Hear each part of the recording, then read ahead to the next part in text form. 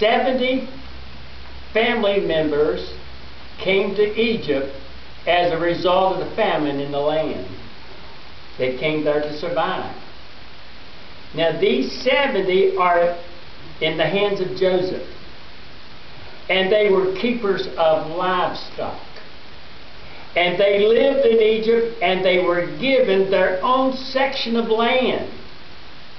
The land of the land of Joshua, Joshua, Goshen, Goshen, where they could raise their stock. Well, they began to multiply. Exodus 1 7. And the children of Israel were fruitful and increased abundantly and multiplied and waxed exceedingly mighty, and the land was filled with them. God reached down and blessed Jacob and Joseph, and the multitude began. But their status began to fall apart during the time when they left their homeland. Then, I think in verse 1, chapter, chapter 1, verse 7, a king rose up that did not know Joseph. And he saw that these people were getting bigger than the Egyptian was. and he became jealous. And he was afraid that these people whom God had blessed was a threat to him because in those days they, they, they moved from place to place. And if there was one nation here, a group of people here, if another group moved in over here, if that group got bigger than this group over here, they could overtake this group. So before they got really, really big,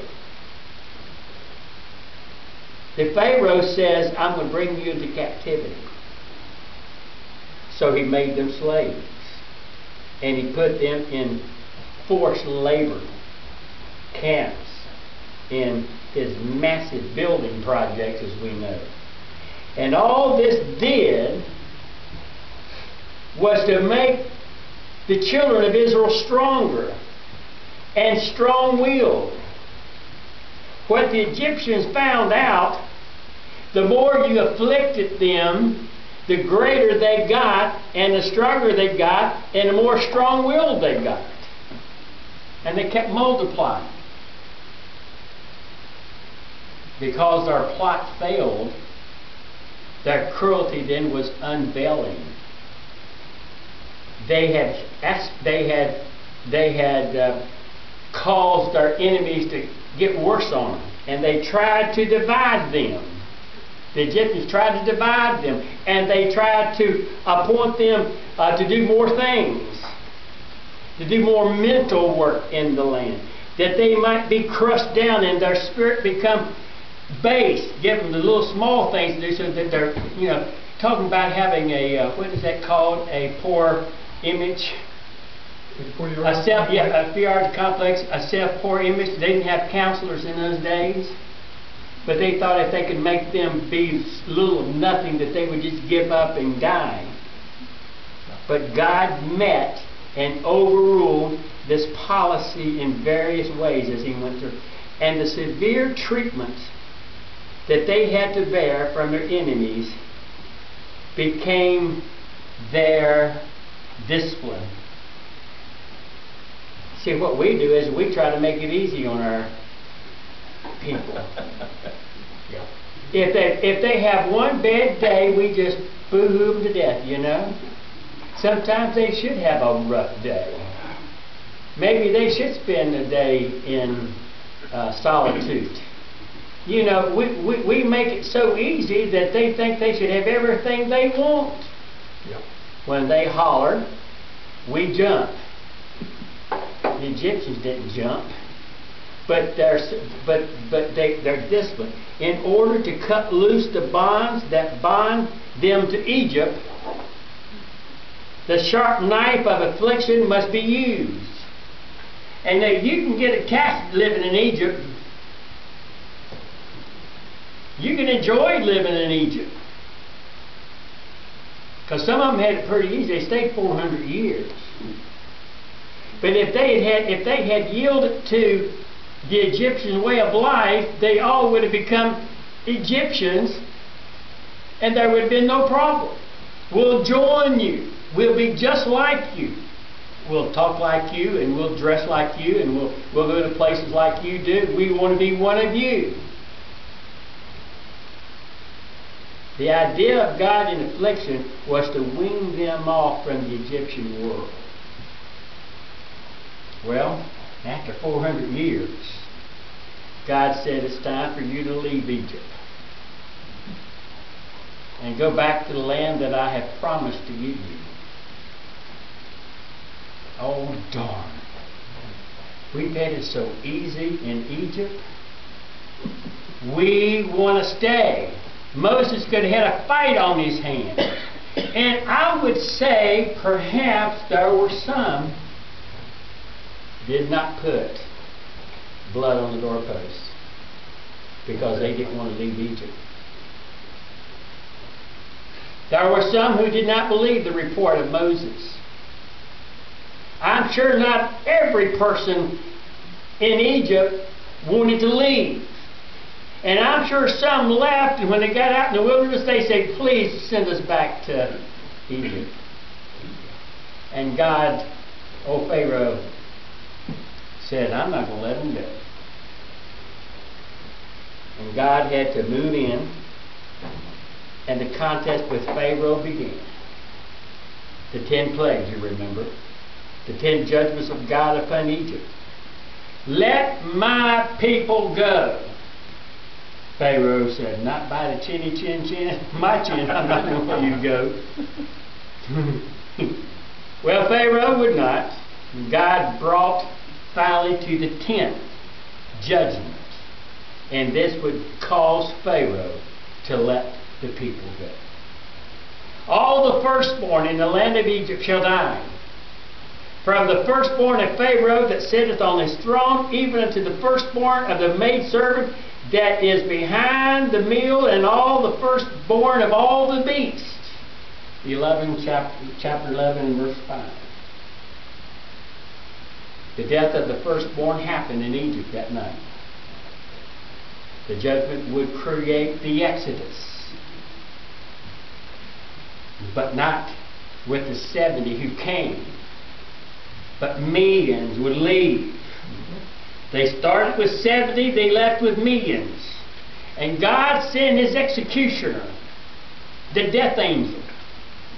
And he would go through Egypt and kill every firstborn in every house, in every firstborn cat, cow, firstborn horse, firstborn dog. But from the Hebrew, to be spared, the work of his angels, God instructed the angels not to take the life of the home that the blood was over the doorpost.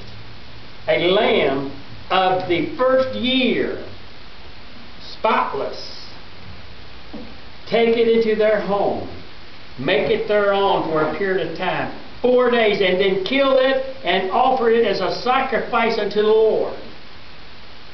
Put the blood on the doorpost, on the upper doorpost of the house specifically, God said, do this specifically. Remember when the rich young ruler came to Jesus and he said, What can I do to receive eternal life? Jesus, knowing the heart of this man, here's what I want you to do. I want you to sell everything you've got. Guess what? He wouldn't do it. I do wonder if someone comes forward and wants to be saved, and he says, What can I do to have eternal life? And you have this sense, and you say, The first thing, sir, that I want you to do before you're saved is I want you to do A, B, and C, and D. And when you do, are you willing to do those things? Are you willing to make Jesus your Lord? Are you willing to come to church on Sunday morning and Sunday night? Are you willing to take Pastor Charles's notes and put them in a notebook and keep them for a whole year? well, in that case, I don't know if I want to be saved. I wonder how many people would accept the salvation that required us to make Him the Lord of our lives. Specifically, God said you have to do, take the lamb for four days, kill it, eat it, take the blood, and put it on the doorpost. And then you eat it, the flesh that night, roast it with fire, and unleavened bread with bitter herbs. Chapter 12, verse 8, right? and when the death angel came by and seeing the blood, he would pass by. Here's the point. Here's the point. The lamb's life would be the price, the purpose price for the firstborn. The lamb would be the place of the firstborn. The lamb that you slain and killed is going to take the place of your firstborn. The lamb was the substitute. This is where we get the substitutionary death. The lamb became the substitutionary death for the firstborn to be spared. A lamb for a child. The lamb would pay the price that God required, thus saving the firstborn. Wouldn't those be busy days in preparation? Every family searching for a lamb that was spotless. And you and God know knew where a spotless lamb was. And since the firstborn was precious to them, they would be filled with anxiety as they searched for a lamb that would be accepted with God. God requires our best. He requires our first fruit. God requires our first life. I said on Facebook this day, it's not, it's not how many years you've lived. Yep. It's how well you've lived your years. Well, I've lived to be 92 years old, or 98 years old, or 105 years old. It doesn't matter how long you live, it matters how well you've lived those years. Some people live better in 50 years, and some people live in 75 years.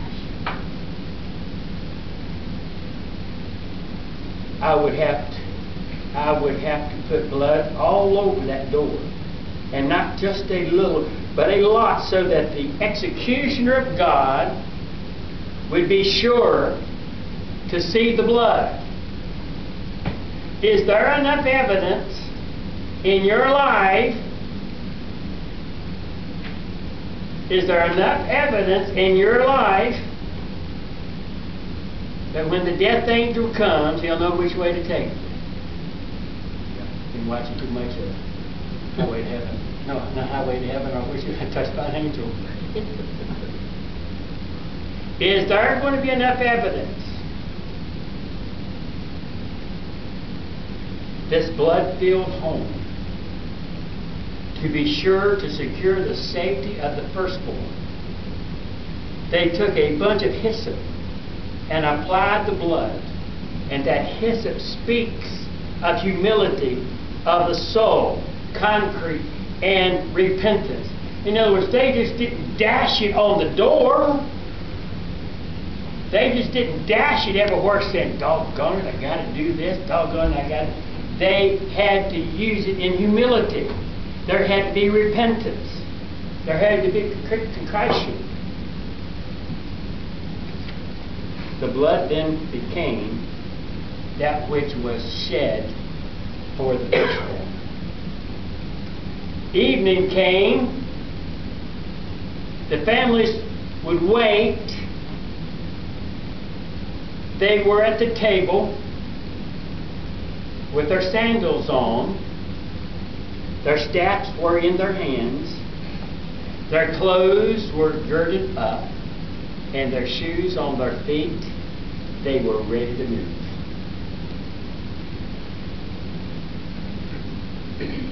Their long robes were to be girded up so that they might not be hindered in the way of the march.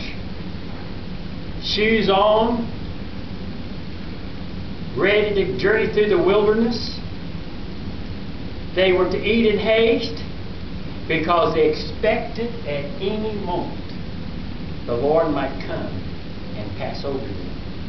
Any moment they might be called to arise and go to the land of bondage.